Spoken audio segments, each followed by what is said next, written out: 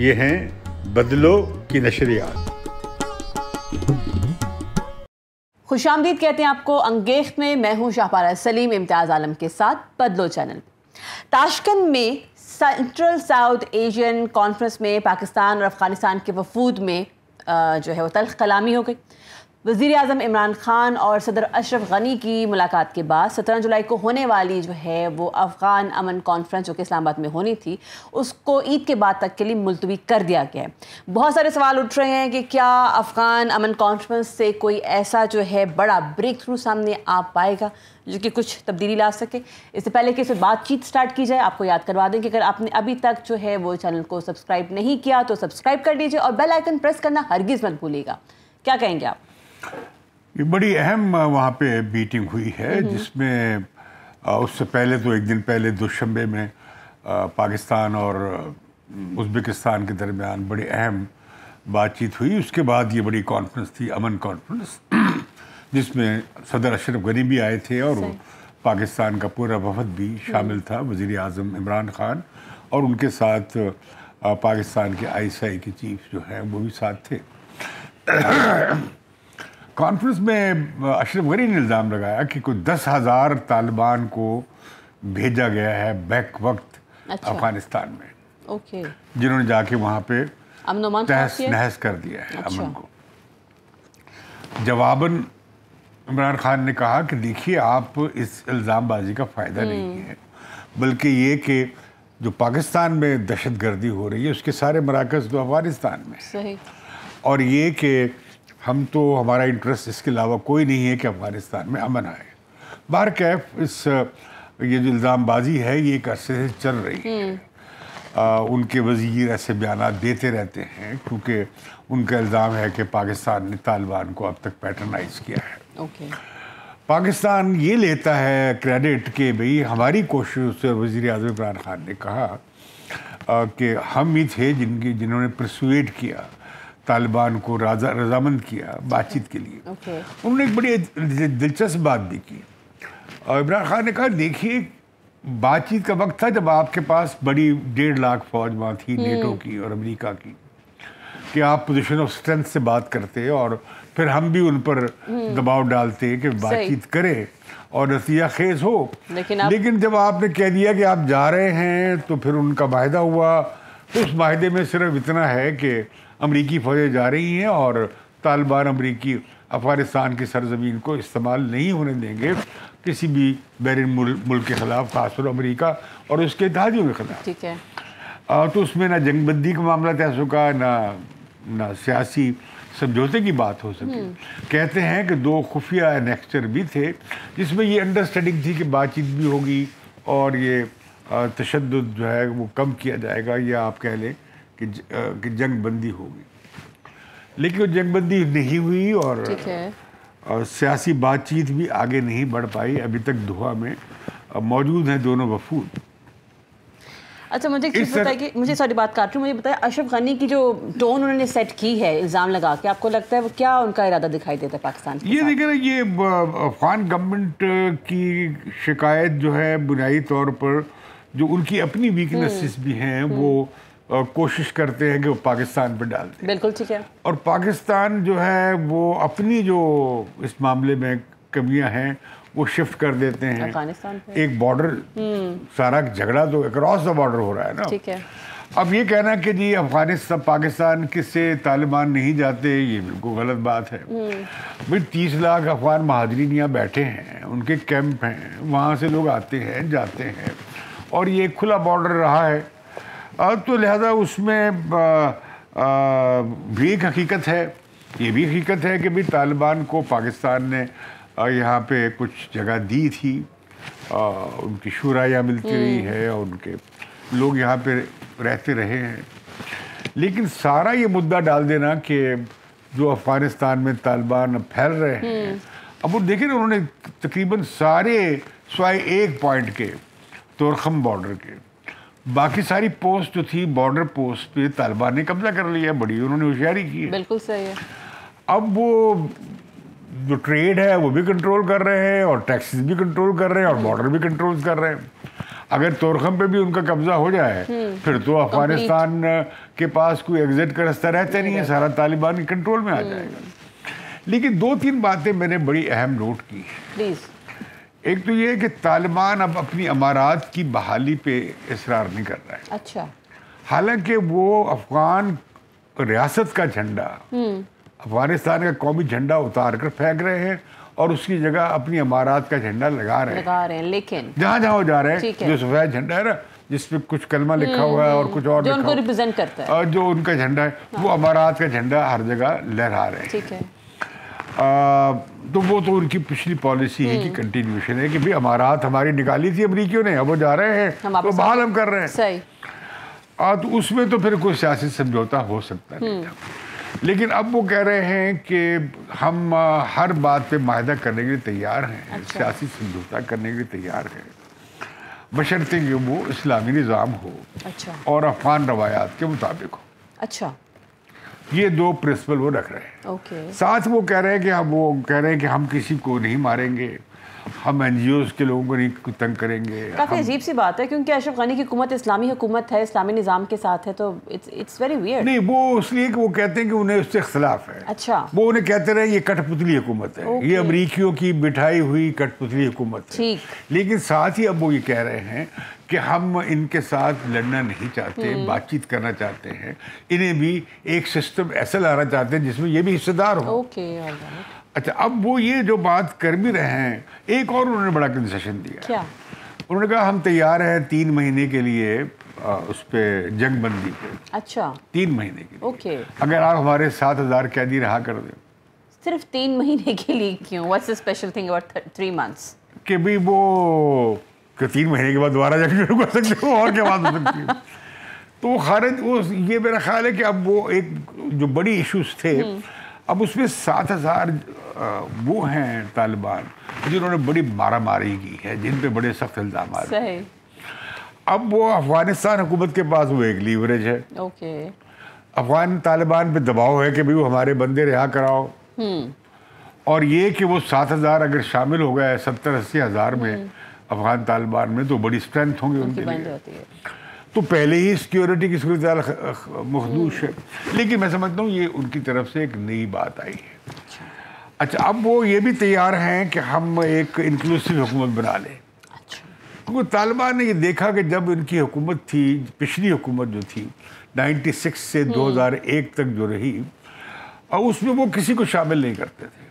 सही। उन्होंने हर एक लेकिन ये भी बात है कि उन्होंने कोई बड़ी जंग करके काबुल फतह नहीं किया था। लोग तंग आए हुए थे पुरानी आ, जो थे अफगान मुजाहिदीन की आपस की लड़ाइयों से और हुकूमतों से बड़ी करप्शन थी मारा मारी थी। सही। तो उन्होंने लोगों ने तालिबान को कहा कि चलो ये अमन ले आएँगे। लेकिन वो दुनिया भर में हुकूमत तनहा रह गई क्योंकि उन्होंने अलकायदा भी वहाँ थी और दूसरे टेररिस्ट भी वहाँ पे थे। आइसोलेट हो गए वो। वो आइसोलेट हो गए और सिर्फ़ दो तीन मुल्कों ने पाकिस्तान समेत उन्हें कबूल किया था। सही। अब अगर दोबारा वो तालिबान वही रास्ता इख्तियार करते हैं तो दुनिया में तनहा रह जाएँगे। लेकिन और लगता नहीं मुमकिन है। है कि उन्हें दहशतगर्द भी करार दे दिया जाए। लेकिन उनके जो जेस्टर्स हैं उनसे लग नहीं रहा कि वो इसको प्लान करते हैं ऐसा करना। नहीं लेकिन वो उन्हें ये एहसास है कि हम हम तनहा नहीं हो सकते। बिल्कुल सही। लिहाजा वो अपने वफद भेज रहे हैं अमेरिका से भी बातचीत कर रहे हैं वो बातचीत सेंट्रल एशिया के ममालिक से भी कर रहे हैं ईरान से भी कर रहे हैं पाकिस्तान से भी कर रहे हैं। वो दुनिया भर में अपने चीन से भी उन्होंने वफद भेजते रहे हैं। तो वो नहीं चाहते तनहा। दूसरी बात ये है कि अब अफ़गानिस्तान को चलाना है भाई। आठ दस अरब डॉलर जो है इंटरनेशनल कम्युनिटी अमेरिका समेत तो अमेरिका में चार पाँच तो पाँच छः बिलियन डॉलर वहाँ पे खर्च कर रहा था। फौज पे भी और निज़ाम पे भी और उसके अलावा वहाँ पे दीगर जो काम थे तालीम का एजुकेशन का हेल्थ का दूसरे सड़कें पुल वगैरह तामीराती कामों में कुछ दस बिलियन डॉलर अफ़गानिस्तान में आता था। खुद अफ़गानिस्तान का कोई ज़्यादा वो नहीं है टैक्स एक बिलियन डॉलर भी टैक्स नहीं है। आ, तो लिहाजा वो कैसे पूरा होगा? कल तालिबान आ जाते हैं। फिर ये कि तालिबान को ये भी पता है कि हम अकेले ताकत के बल पे हमने कब्जा किया तो सारी दुनिया हमारे खिलाफ हो जाएगी हो जाएगी।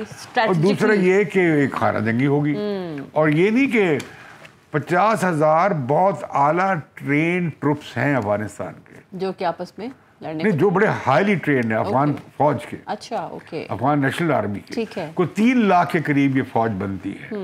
प्रॉब्लम ये हो गया है कि गनी ने वो अपना वज़ीर दिफा भी बदल दिया और आर्मी चीफ भी बदल दिया। अच्छा। जो अफगान नेशनल आर्मी का जो चीफ था उसे भी बदल दिया। ठीक है। और फिर ये जो गनी हैं ये पाँच सात लोगों में तक महदूद हैं सारी हुकूमत उनके अंदर बैठ कर चलाते हैं। लोगों को अतमाद भी नहीं लेते हैं और काफ़ी ख़ुद काबुल में अदम इतमान है काफ़ी रस्सा कशी है मुख्तलिफ़ ग्रुपों में।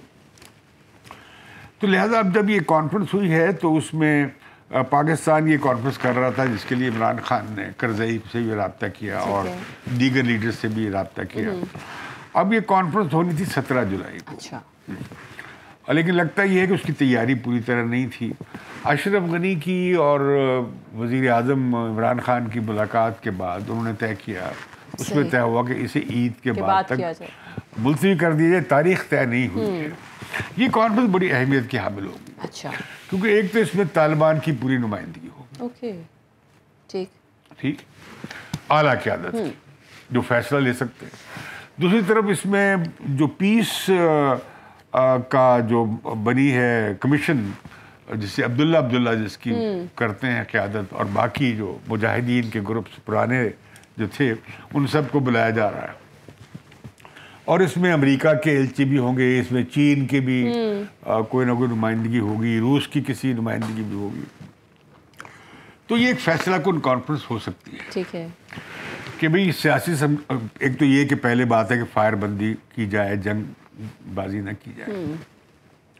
गो के अभी अभी इस वक्त जो सीज फायर करना जो है हालाँकि तालिबान ने ऑफ़र कर दिया है कि सात हज़ार कैदी रिहा कर दो तो सीज फायर हम कर देते हैं। तो उस पर अफगान गवर्नमेंट कह रही है कि सीज फायर इसलिए कह रहे हैं ताकि जो जो इलाके इन्होंने काबिज किए हैं उस पर अपना कंट्रोल मज़बूत कर लें। तालिबान ने ये काम किया कि उन्होंने बड़े शहर कब्जा नहीं किए। अच्छा। उनके गिर्द अपना घेरा उन्होंने मज़बूत कर कर लिया। अच्छा ठीक है। ज़्यादातर उन्होंने कंट्री साइड को देहात पे अपने आपको फैलाया है। वो पूरे अफ़गानिस्तान में फैल गए। कोई कह रहा है पचास फ़ीसद कब्जा है और बत्तीस फ़ीसद अफगान हुकूमत के कंट्रोल में है बाईस फ़ीसद पर लड़ाई चल रही है कि वहाँ कौन फाइनली टेक ओवर करता है। लेकिन लग ही रहा है कि तालिबान को बड़ी एक अंगेख मिली है एक बड़ी उन्हें है। छलांग मिली है। आ, और वो आगे बढ़े हैं। बड़ी वजह यह है कि अफगान के अफगान के अवाम जंग नहीं चाहते वो तंग आए पड़े हैं। जो जंग बढ़ाएगा वो अफ़गानिस्तान के अवाम उसके खिलाफ हो जाएँगे। ठीक। इसका अंदाज़ा अफगान फौज को भी है। लिहाजा अभी जो फतूहत जो हासिल की हैं तालिबान ने वो जंग लड़के नहीं की। उसमें ज़्यादा खून खराबा नहीं हुआ। ठीक है। वो अफगान फौजी ने कहा जी हम नहीं लड़ना चाहते। ओके। उसकी एक वजह यह भी है कि वो अपनी क़्यादत पे उनका एतमाद नहीं है। अच्छा। और उन्हें अच्छा। पता है कि ये जंगबाजी जंग होगी तो बड़ी खौफनाक नतीजे ओके। निकलेंगे। उनसे असला भी नहीं लिया तालिबान ने। उन्हें असले से भी जाने दिया है। अच्छा। तालिबान ये अच्छी पॉलिसी इख्तियार कर रहे हैं। वो कह रहे हैं कि नहीं जो माजी में था वो सब उसकी माफ़ी है।